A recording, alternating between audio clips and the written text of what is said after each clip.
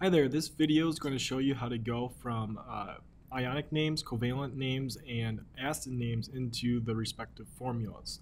All these naming systems are going to be combined in this one video. They'll be separated by type, and I'll discuss how you know what kind of formula you are looking at.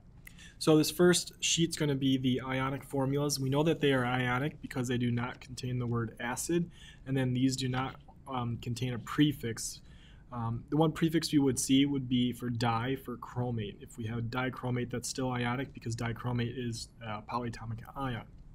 So on these ones, you want to write down the ion symbol and charge above each name. And then you have to crisscross, make sure that your charges cancel. Plus 1, minus 1 cancel, so I don't need to crisscross. Potassium iodide, just KI. Next formula, calcium hydroxide calcium Ca plus 2, hydroxides OH minus 1. Plus 2 minus 1 don't cancel, so I need to crisscross. This 2 is going to come on the backside of the hydroxide ion. Now since there's two different symbols here, I need to use parentheses. So Ca, parenthesis OH 2, then this 1 is going to come on the backside of the calcium, but I can omit writing a 1.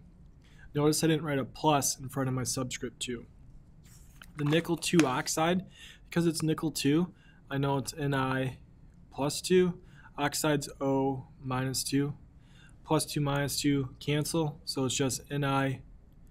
And again, these were all ionic because the acid name wasn't included, and then also prefixes weren't provided.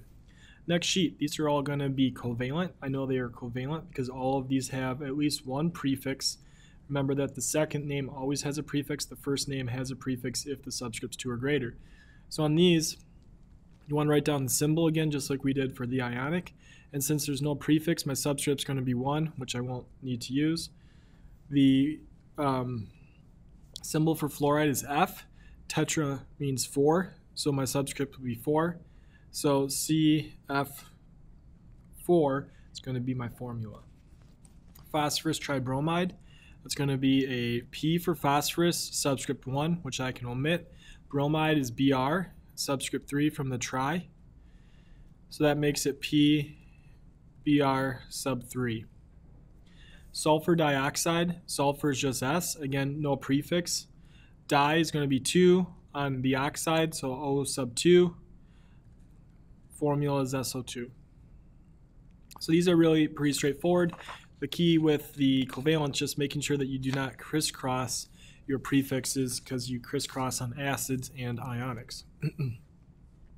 Hypochlorous acid. So on these, you want to drop the uh, suffix on these. So OUS came from ite, which means that the anion for this acid is hypochlorite, which is just ClO minus 1.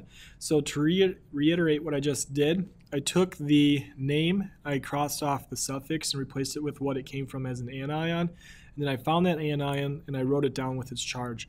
Acid, we're kind of saying represents the hydrogen ion. Now we have to do the plus on the beginning of your formula. So it's HClO plus 1 minus 1. I do not need to crisscross, but you do need to check for crisscrossing in acids.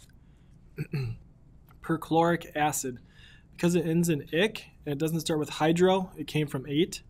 So that means I'm looking for the perchlorate anion, which would be ClO4 minus 1. Acid means hydrogen ion. Hydrogen ion goes on the front end, plus 1, minus 1. No need to crisscross this. Hydroiodic. Because it begins with hydro and ends with ic, I can cross off the hydro and the ic and replace it with ide. That comes from ide. So iodide, which is I minus 1, acid is going to be H plus 1. So in this case, it says HI because plus 1 minus 1 cancels. So in all three of these examples, there were no need to crisscross. If you do crisscross, your anion is going to be the only thing bringing a subscript. Your hydrogen may get a subscript. You will never put a subscript on the back end since your hydrogen is a plus 1 ion. You will not bring the 1 on the back end of your anion. So after watching this video, you should know how to take an ionic name, covalent name, and an acid name and turn them back into their formulas. And you should have a pretty good idea of how to tell what kind of formula you have in front of you. Typically, it's easiest to identify an acid formula because you see, or an acid name because you see the word acid. So label those with A so you know what you have. Then I would say the next easiest kind is to see the covalent because you're going to see lots of prefixes. And then finally, the remaining ones should be ionic. As long as you don't have a dichromate, you shouldn't get uh, tripped up, but you should also know a dichromate because we practice a lot of those. I hope that helps.